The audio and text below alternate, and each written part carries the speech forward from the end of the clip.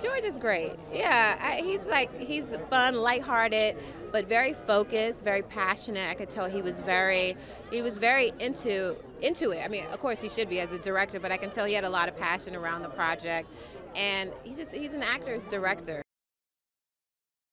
One of the biggest things I think that people will see watching the movie, they'll say, "Wow, that was 1950s, and this is 2017." Like well, we're kind of experiencing similar things now.